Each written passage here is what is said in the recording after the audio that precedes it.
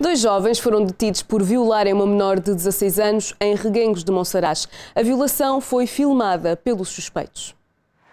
Na noite de domingo, a vítima, uma jovem de 16 anos, foi levada por dois amigos de 17 e 20 anos para uma casa abandonada em Reguengos de Monsaraz.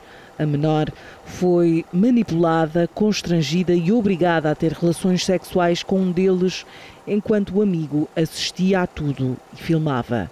Segundo a Polícia Judiciária, os crimes aconteceram entre as 9 e as 10 da noite.